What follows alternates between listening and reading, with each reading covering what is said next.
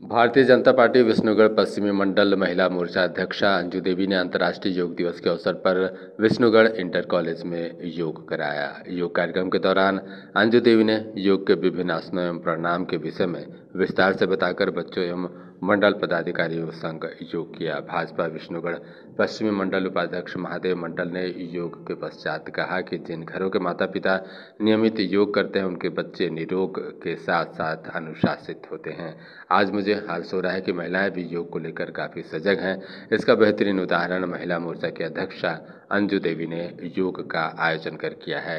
योग दिवस में मुख्य रूप से महामंत्री गुरु प्रसाद साव मीडिया प्रभारी जीवन सोनी, राकेश कुमार बनवाल, किसान मोर्चा अध्यक्ष अशोक मंडल, भारतीय जनता युवा मोर्चा मंत्री नीतीश बनवाल, उपाध्यक्ष कुंदन शर्मा, अशोक भाई पटेल, जयनाथ साव शशि लाहकार, आकाश कुमार कसेरा, बच्चन राम मेहता, रघुनंदन सोनी, भीम शाह पवन साव समेत काफ़ी संख्या में स्कूली बच्चे शामिल थे। विष्णुगढ़ से सुबोध कुमार की रिपोर्ट।